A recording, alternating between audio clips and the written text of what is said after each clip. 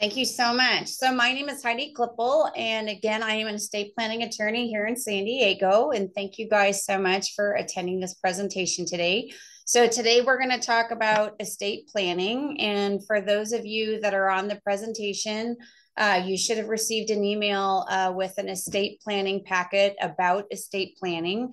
And in that packet, it basically goes through all the different documents that we're going to talk about today, um, including trusts, wills, durable powers of attorney, and medical directives. If by chance you didn't get that packet, we can email that to you.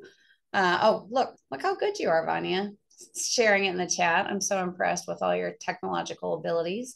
Uh, but again, that packet pretty much summarizes uh, the highlights of what each of these documents do. So let's go ahead and get started. Um, so for those of you who have an estate plan, I just want you to know that we will talk about some recent changes in the law. So there will be some things uh, contained in this presentation that should be educational for you as well. So I'm just going to start with the basics, and that is what happens in the state of California if you don't have an estate plan. So, in the state of California, if you were to die without an estate plan, you die what's called intestate. And that means that the state of California has an estate plan for you. So if you die as a married person, we are what's called a community property state, which means that the state of California would give your half of community property automatically to your surviving spouse.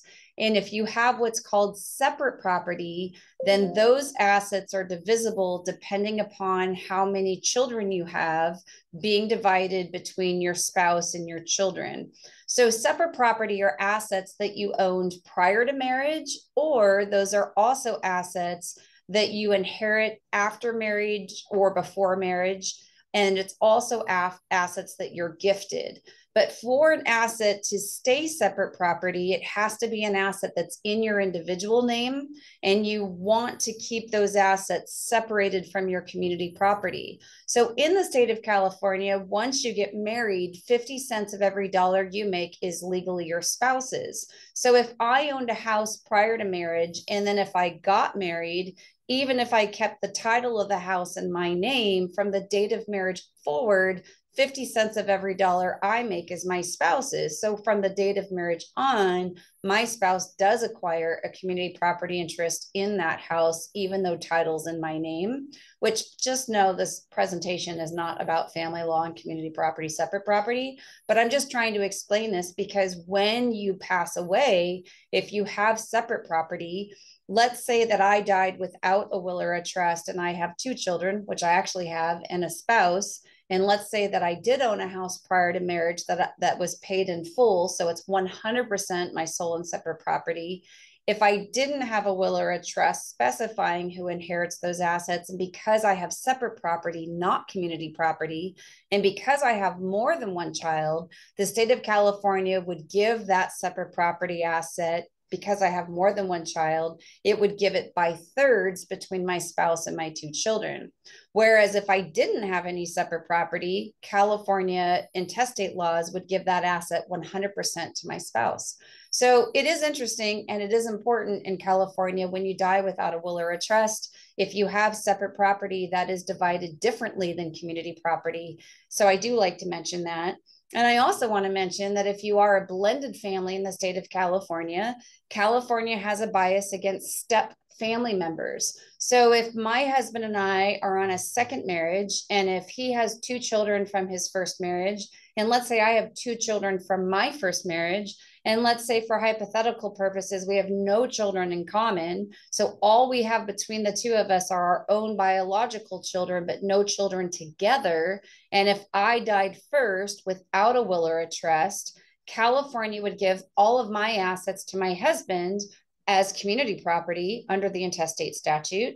And then if my husband died after I did without a will or a trust, California would give all of our assets to his biological children 100%, nothing to my biological children because they were his stepchildren because California has a bias against stepchildren. So I do want to mention that in the state of California, if you are a blended family, you do want to have at a minimum a will and or a trust because in these legal documents if you acknowledge each other's stepchildren then you can provide for them equally like they are your biological children just by including them by name as beneficiaries in these legal documents. So that is one really important nuance as far as why have an estate plan in the state of california. And there is something in california that, that we do recognize called a holographic will California would so rather you have a legal document than not have one.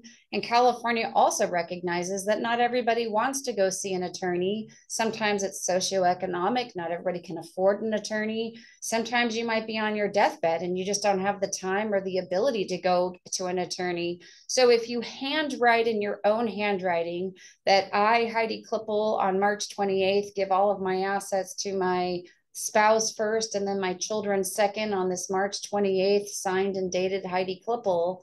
As long as that will is in my own handwriting, signed by me, dated, and acknowledged, and as long as I include the one magical word that I intend for this to be my will, that is a legally binding document in the state of California. So, not all states recognize that type of a document. And I should preface that by saying that each state in the United States does have their own approach to estate planning. So everything we're talking about today is California specific.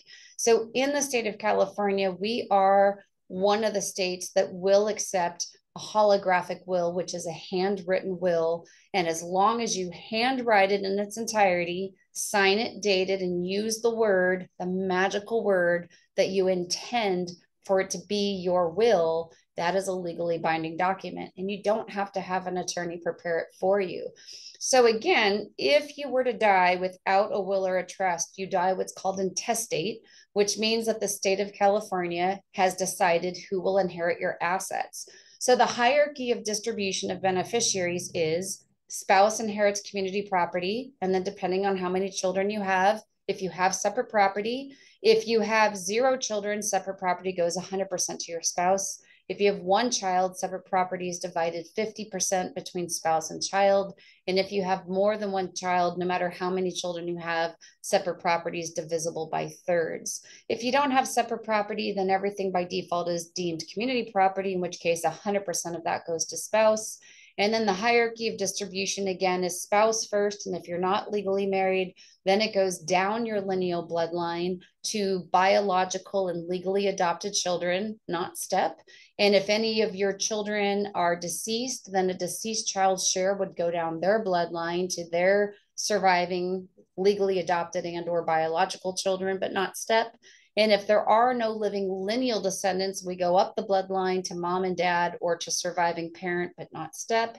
And then we go sideways through the sibling line, which includes half siblings, but not step. And if any sibling has passed away, we go down their bloodline, nieces, nephews, great nieces, great nephews. And if there still is not a living blood relative, we go up the bloodline to grandparents or surviving grandparent, then we go to aunts, uncles, first cousin, second cousin. And then if we can't find a biological living bloodline or blood relative, then the final heir would be the state of California, which in 23 years of practicing law, I have never seen the state of California as the final heir of an estate. But that would ultimately be who would inherit assets if there was not a biological living blood relative found. And there are companies now, by the way, that uh, can be hired. They're called heir locator companies. So that um, if we don't know who those closest living biological relatives are, a lot of us attorneys will employ these different companies to go out and do these very in depth um, heir locating services to find those relatives. So that is what happens in the state of California if you don't have a will. But if you have a will, the purpose of a will is a couple of things. One is you're going to identify a person called an executor. The job of an executor is basically to pay all of your final debts because legally in the state of California, nobody can inherit your assets until all of your debts have, have been paid in full. Debts would include your final funeral bills, medical bills, your state and federal taxes. If your estate is large enough, you might have what's called federal estate taxes to pay. That is the tax that is imposed by the federal government if your estate is large enough that you trigger the federal estate tax. The federal estate tax amount changes on an annual basis. Right now in 2024, the amount of money that each of us can leave that are US residents and US citizens is $13.21 million per person. Um, and again, that amount changes every single year. There is no state estate tax imposed in the state of California. Many states in the United States do impose a tax just because you pass away. Thankfully, California does not impose that tax. And then once your executor has done their due diligence of paying all your debts and paying all your bills, then they notify your beneficiaries that you've passed away. That opens and closes a statute of limitations in case if any beneficiary is going to contest your estate. And then they read the terms of the will to see who's inheriting the assets. They make the distributions to the beneficiaries, and then the will is completed. Um, and then if you have minor beneficiaries, another really important function of a will is that is the legal document where you would nominate legal guardians to raise your minor children, which hopefully is never needed.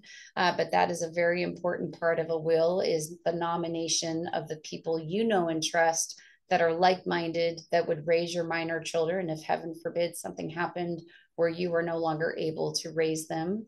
And then, one really important thing to understand is when you have a will, having a will is not enough to keep your estate out of a court process called uh, probate.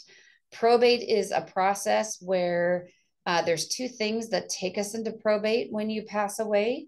The purpose of probate is it is a judicially supervised process where assets are before our courts and that is to make sure that your assets and debts and beneficiaries are all properly notified and dealt with, and that a judge is overseeing that court process before the assets are actually released from the court's jurisdiction and given to the executor to be distributed to the beneficiaries.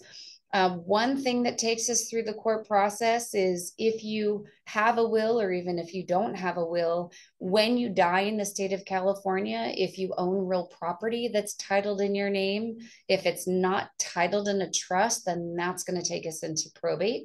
So that is part of why so many people in the state of California have trusts.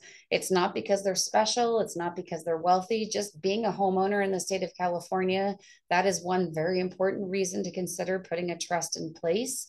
When you own real property and when that property is titled in a trust, having real property titled in a trust at the time of your death is how we protect that asset from going through that unnecessary public court process called probate. So that is one reason why people in the state of California put trusts in place is because they're homeowners.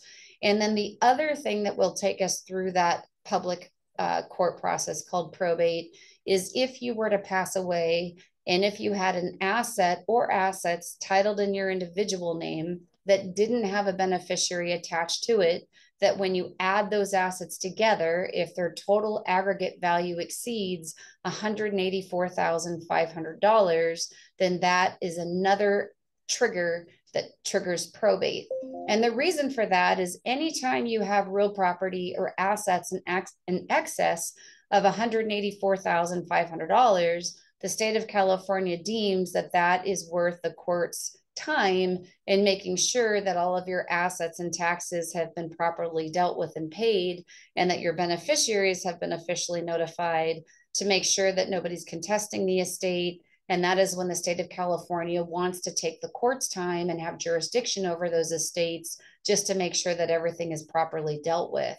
So it's important to understand that when you have a will, that is not enough to stay out of the probate court because if you own a house or if you have over $184,500 worth of assets that do not have living beneficiaries attached to them, that when you add those assets together and if their total aggregate value exceeds the $184,500, in those two situations, your estate will go through that court process.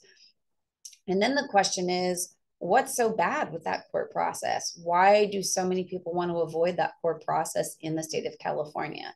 And the reason why people often choose to avoid that process is one, it is a public process. So anybody could go into the court and pull your file. Part of why you don't want your file to be made public is because everything about you, your assets and debts, your date of birth, social security number is made part of that public process. So oftentimes when a person dies and their estate goes through probate, the decedent's uh, identity is stolen and now the executor has to deal with a stolen identity and that just adds a whole unnecessary layer to an executor's job of dealing with identity fraud Second, your loved ones, whether it's your minor children, adult children, or your beneficiaries in general, whether it's your best friends, siblings, brothers, sisters, nieces, nephews, charities, um, not so much charities, but your loved ones, their date of birth, social security number, um, and current address, all of that is also made part of the public record. And part of the reason why that is made part of the public record is because that is for the creditor's information, not so much to make their information public. But these are also very old rules, and our laws evolve very slowly. So, back when these laws were first made, identity fraud wasn't what it is, what it it it wasn't then what it is today. And unfortunately, because these laws change very slowly, these are still the laws. So when a person passes away and their estate goes through probate, if you were to go down to the probate business office and pull any of the probate files, you'll be really surprised at how much private information is made part of that very public file. And then the other problem with probate is at a minimum by law, a probate has to remain open for a minimum period of time of six months. But oftentimes, most probates stay open for a minimum of anywhere from eight to 12 months to as long as a year and a half. And they stay open for that long because the court's uh, calendar is very compacted because we only have three sitting probate judges for all of San Diego County. And San Diego County is a pretty big county, and only having three probate judges who also hear conservatorship matters. They also have uh, guardianship matters in addition to their litigation calendar. They have a pretty full day in addition to hearing the probate matters as well. So it does take a long time to get through the court process in general, assuming that it's an uncontested probate matter. So if you have a contested probate matter, it's going to take a lot longer than eight to 12 months to a year. Um, so probate is also a very slow process, but truly the worst thing about probate, honestly and truly, if you look at the back of that handout that was emailed to you, is the probate fees that are involved with probate. They're statutory, which is a very fancy word for they're predetermined by law. And what statutory means is it's a percentage calculation and it's based on the gross value of assets that are before the probate court. So, for example, real property always triggers probate when it's not titled in a trust. So, if you took a percentage calculation off the gross value of real property and then took that calculation to base the fee for a probate, that can be a lot of money when the whole court process is easily avoided mm-hmm. just by putting the property into a trust.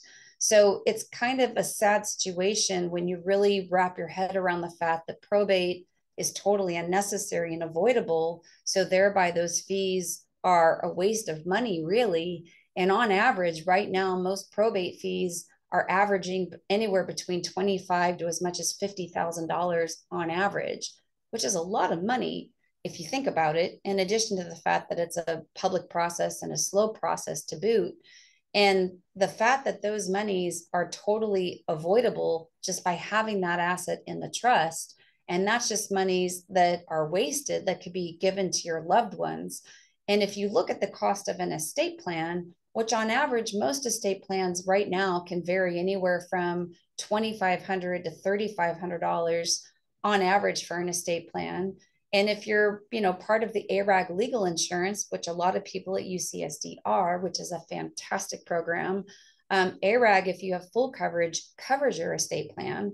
And if you have the insurance and if you have an estate plan, it covers the review and update of an estate plan.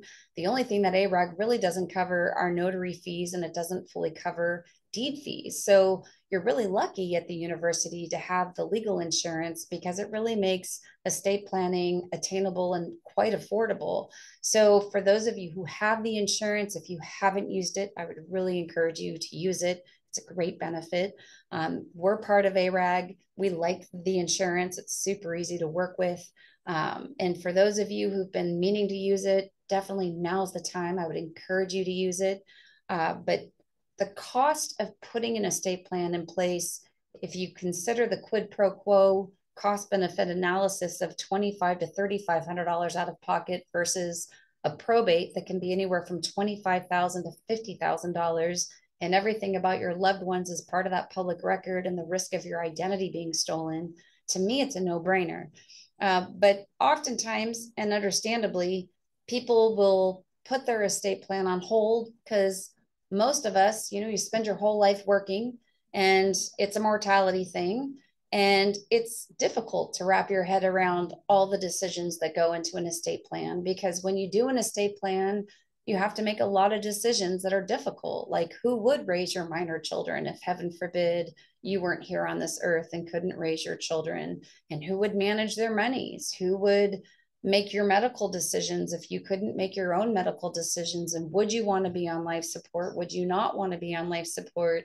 Do you want to be buried? Do you want to be cremated? How old do you want your kids to be when they inherit all of this money? Do you want to give them monies over a period of time and stages to help them become responsible prudent financial managers do you want your married beneficiaries to keep these monies in a separate account so if they later get a divorce the monies that they inherited from you are protected what if sadly one of your beneficiaries was having issues with illegal drugs? Would you give your trustee your permission to drug test a beneficiary? And if they tested positive for illegal drugs, would you allow your trustee to postpone that beneficiary's distribution, but use their monies to help pay for their rehab and help get them some support? There's just so many wonderful things and planning provisions that go into an estate plan, but you really have to approach it from that point of view what a wonderful gift for you while you're alive to make these decisions that you get to choose your people that in your most vulnerable time of need, when you don't have capacity, when you're at your most vulnerable, wouldn't you want to pick the people that are managing your monies? Why have the courts pick those people? Because that's exactly what happens. If I walked out of my office, I'll say yesterday to not jinx anything, and if I got hit by a drunk driver and if I didn't have any of my planning in place, even if I'm married and have a spouse, my husband does not have my legal permission to write checks on my behalf, to sign contracts on my behalf, without having a trust and a durable power of attorney that gives my financial powers to a third party when I lack capacity if he needed to step into my shoes to make those decisions for me, the only way that he can legally do that, if I haven't taken the time to put my estate plan in place, giving him my legal permission to make those decisions on my behalf, he'd have to go through a different court process called a conservatorship. And that's the court process that would give him my permission to step into my shoes and manage my financial affairs when I'm incapacitated and can't make those decisions for myself. So if you can approach an estate plan from that point of view, that it truly is a gift to make these decisions while you have capacity and while you have the ability to pick from the people in your circle. Because let's be honest, not everybody in our circle is the best with money. So those are the people that you know that you're not going to put on your financial documents. And maybe not all your financial people are the people that you'd want to be making your medical decisions. So, how great that you get to decide who you'd want to be at your bedside, being your medical advocate if you couldn't make your own medical decisions for yourself.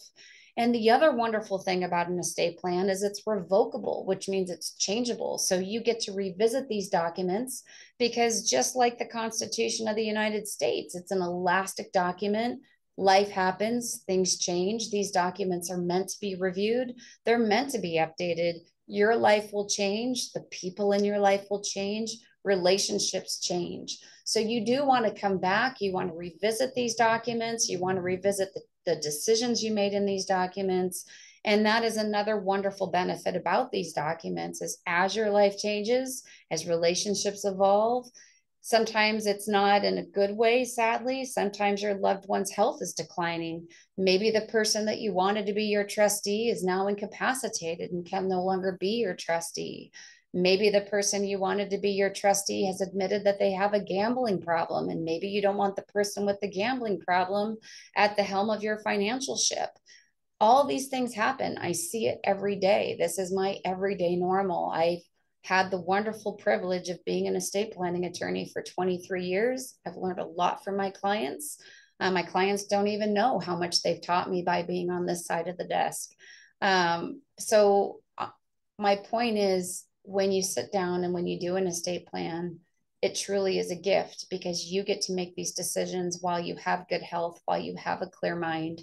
And sadly, when you don't have the ability of having a clear mind and having a healthy body, you're so lucky that you took the time while you had those things because now these documents protect you.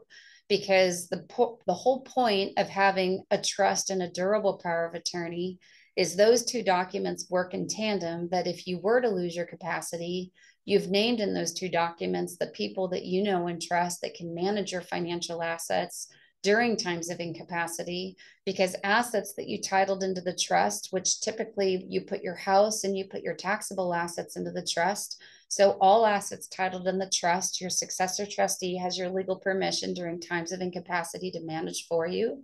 Or if you're elderly and your health is declining, you can always have your co trustee have powers even while you have capacity if you want the benefit of having help and a second set of eyes, which makes a lot of sense.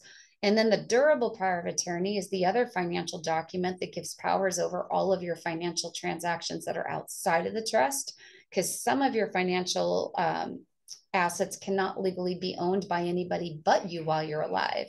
So while you're living, your retirement account is owned by you, your life insurance is owned by you. So if you were to walk out of your office yesterday and be hit by a drunk driver, it's the durable power of attorney that would give your loved ones the ability to talk to your life insurance company, to talk to your retirement company, to talk to your medical insurance, your life insurance, the car insurance, the homeowner's insurance, deal with all aspects of your financial life that has nothing to do with the trust. So the benefit of the trust and the durable power of attorney working together if you were to be incapacitated is invaluable because those two documents give you those protections because you pick the people that you know and trust during your time when you're the most vulnerable, when you're incapacitated, that the assets will be managed by the people you trust that are the most capable of managing those assets.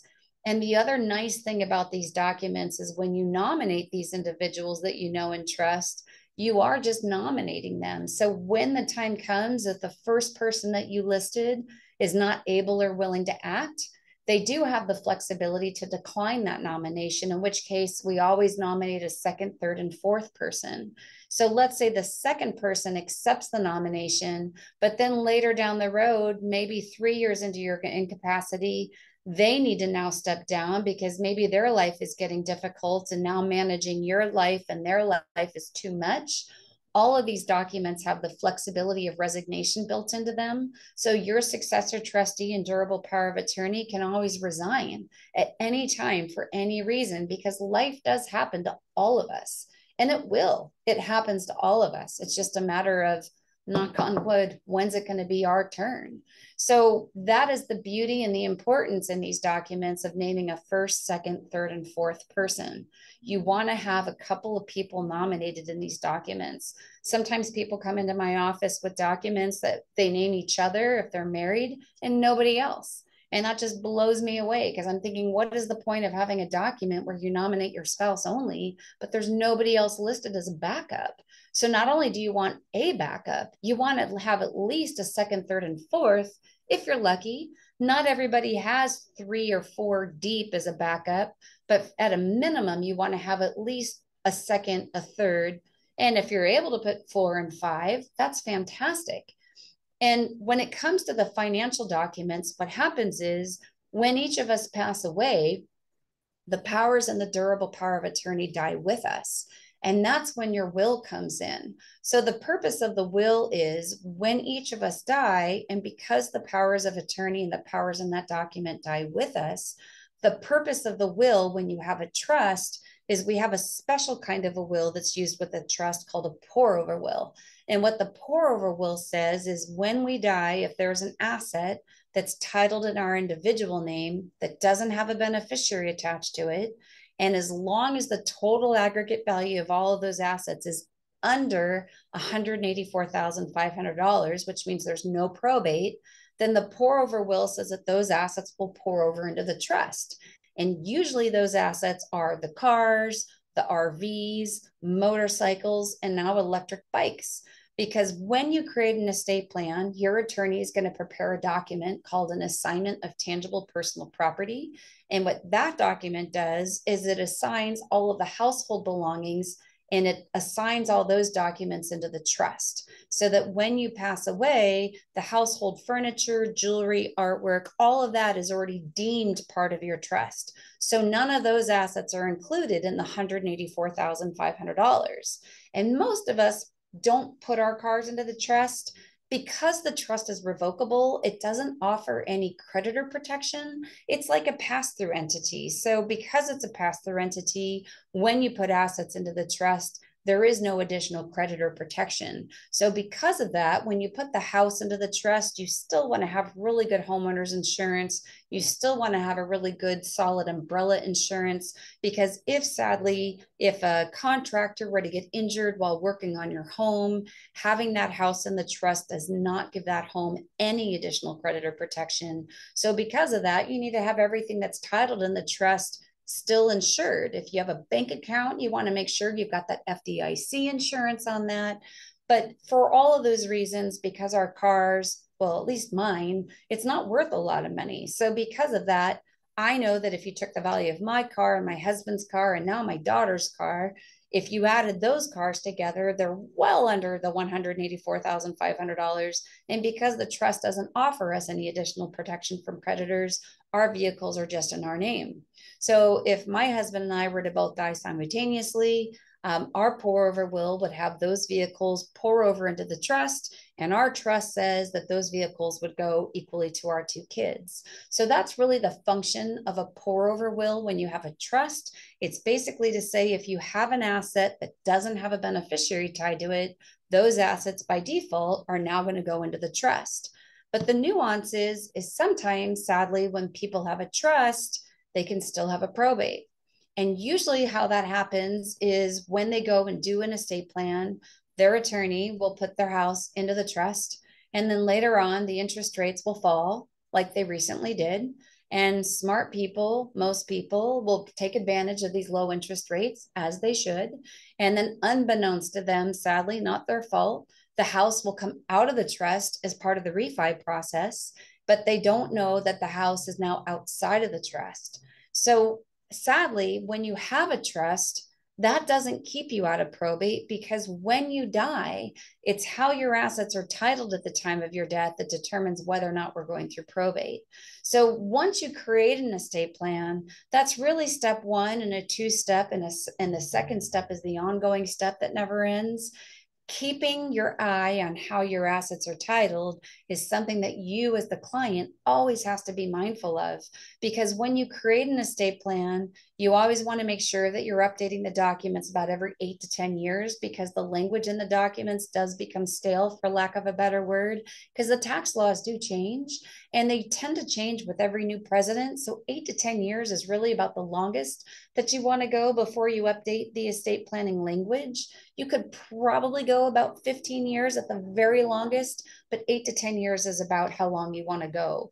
Um, and for those of you that have ARAG, you could even update your estate plan earlier and more often because your legal insurance makes it a lot easier to do that. But from a legal point of view, from an updating the language point of view, eight to 10 years is about the norm. If you want to change anything that the estate plan says, trustees, beneficiaries, medical decision makers, uh, life support decisions, cremation, burial decisions. You could update those types of decisions whenever and however often you would like. But from a legal point of view, eight to 10 years is the norm. 15 is as long as you want to go. Never let it go more than that. Um, but having said that, when you have these documents, it is important to keep an eye on how your assets are titled because if your house came out of the trust and then sadly you passed away, even if your trust is current and up to date, if the house is not titled in the trust, that will trigger probate.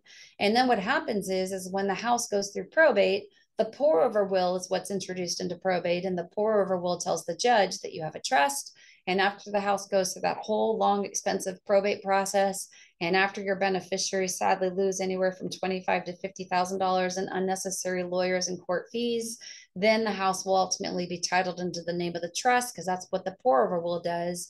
And then the house will go into the trust at the close of the probate, and ultimately that asset will be given to the beneficiaries of the trust. The nice thing about the pour over will, though, is because you have a trust and because the trust is a legally confidential document, the pour over will keeps most things about your loved ones private. So that is one other benefit of having a trust versus not having a trust is unlike a testamentary will that when it's introduced into probate, everything about everybody is part of that public uh, process. But when you have a pour over will, because it defers to a trust and because the trust is a legally confidential document, the pour over will keeps most everything about everybody legally confidential. So it's really nice to have the pour over will instead of the testamentary trust. But that is one big nuance in the law between the pour over will and just a good old fashioned trust. So we talk now about your durable power of attorney and how it works with the trust. And now we should talk a little bit about a trust because probably the most commonly asked question I get, which is a really good question, is what's the difference between a trust and a will? And really, the biggest difference between the trust and a will is when you have a will, you're going to go through probate if you own a house. And when you have a will, if you have assets that exceed $184,500 that don't have a pay on death beneficiary living and attached to them, you're going to go through probate. And if you have beneficiaries that are under the age of 18, when you have a will, you're going to go through probate. But when you have a trust, and as long as your house is titled in the trust, we're not going through probate. And when you have a trust, regardless of how much financial monies you have, whether it's a dollar or $3 million, as long as those assets are titled in the name of the trust or name the trust as the pay on death beneficiary, we're not going through probate. And to me, one of the biggest benefits of a trust versus a will is when you have a will, you cannot put any contingencies in a will, not one, because the courts, with all due respect, they don't have the time. The courts don't oversee any contingencies in a will. Whereas when you have a trust, you have a person called a successor trustee. One of the benefits of naming a successor trustee is they will legally enforce all of the provisions within the terms of the trust.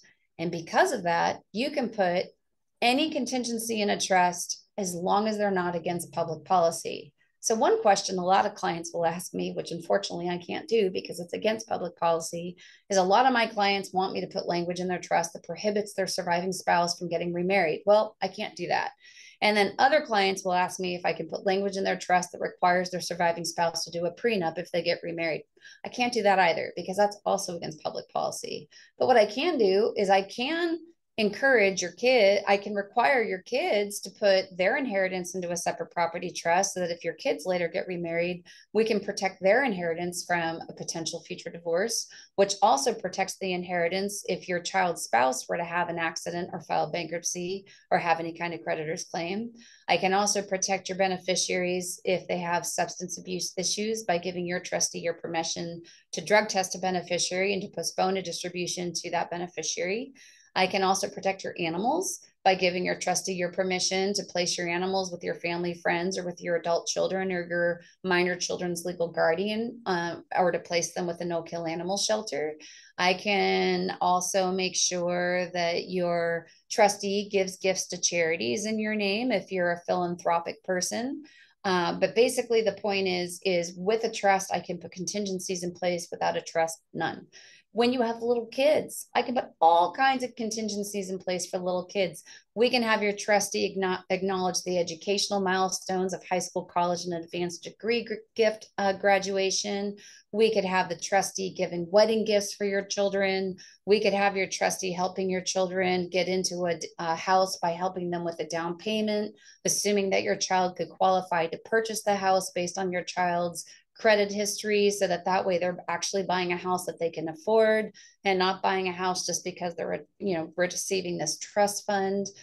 Or, or we can write that however you want because houses are very expensive now. So sometimes we can play with those provisions because it is nice to help people get into that first property because it is getting harder and harder to get into the real estate market. My point being no matter who your beneficiary is, whether it's a child, a niece, a nephew, a best friend, a neighbor, somebody who I just had a client in here yesterday who's giving her estate to this lady who was homeless that she's taken in, who she has no legal relationship to, but that's her beneficiary who talk about amazing people that walk the earth. They're here. But you can have your estate plan be written in a trust with any contingency that makes sense to you in your specific situation, just so long as it's not against public policy.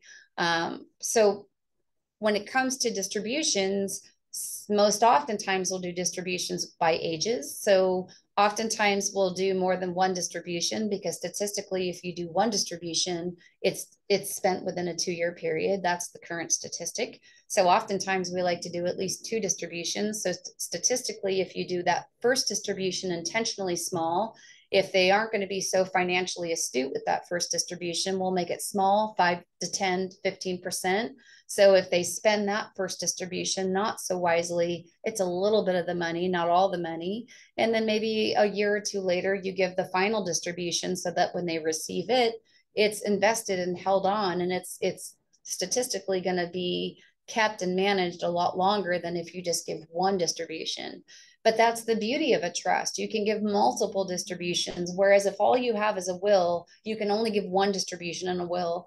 And with a will, you don't get to pick the age, it all is distributed outright. You don't have the ability of choosing an age with a distribution, but in a trust, you get to choose all of that. So I had a client once from UCSD who shall remain, remain nameless who felt so strongly about education that he or she or they said that their beneficiary would get the monies when they obtained a PhD or turned 70, whichever occurred first. And that's how they wrote their trust. So uh, I had another client who had tortoises and did what's called an honorary trust and kept a share of their estate in trust because tortoises live over 100 years and they wanted to make sure that these animals weren't euthanized absent a medical reason. Uh, so there's a lot of things that you can do with a trust. And that's where having an attorney and writing a trust is very important because it's the planning that's important. It's not a one size fits all. There's a lot of family dynamic that comes into an estate plan, and your estate plan should reflect your family dynamic, what's important to you. And that's where having these conversations and planning accordingly becomes very important. So, for those of you who have an existing estate plan, one change in the law that is very important to know is 15, 10 years ago, all of us estate planning attorneys, when it came to your 403B and your retirement accounts, we used to advise you to name your spouse as your primary beneficiary and to name your trust as your second. Those laws have changed. So now, when it comes to your retirement assets, including your 403Bs, you do not want to name your trust as a beneficiary because now, if your trust is a beneficiary on any retirement account, including your 403B, it will trigger an unnecessary tax that can trigger as much as an 35% unnecessary tax. So I would encourage all of you, preferably when we're done with this presentation, please log on to your retirement accounts. And if your trust is a listed beneficiary, please change that unless there's a reason to have your trust listed. Oftentimes, the only reason it would make sense to have a trust listed as a beneficiary is if you have a loved one who needs to have their monies go through a special needs trust because they're on state or federal disability. Otherwise, if you don't have that situation, then your best beneficiaries on your retirement and your uh, 403b is to have people and or charities by name. So if you have children, your best beneficiary designation is spouse first, kids second, grandkids third. If you don't have grandchildren yet, name a third beneficiary, whether it's your parents or your siblings or your nieces and nephews. You always want to have three beneficiaries deep. If you can't name a third, oftentimes if you reach out to the retirement institution and ask them if you can name a third, they'll allow a third, but you just have to ask The reason I encourage a third beneficiary is most of you probably have well over $184,500 just tied up in your retirement monies. So if heaven forbid you, your spouse, and your secondary beneficiary were all in the same car and passed away, then we might have a probate happening just for that one asset. So that is the value of having that third beneficiary listed. So um, I would definitely encourage you after this presentation, if you have just a couple of minutes, to check your uh, beneficiaries and ensure that you do not have your trust listed because that was okay 10, 15 years ago and earlier, but it's not okay now because those laws did change. And then if any of you took advantage of the refinance laws that just recently happened, if you are concerned about whether or not your house is still titled in your trust, as long as your house is here in the state of California, if you want to email me your house address, I'd be happy to check title of your house. It's free to me, so it's free to you. Um, I'm putting my email address on the chat. So if you want to send me your address, I'd be happy to check your deed. I'll just email it over to you. I can tell you whether or not your house made it back into your trust.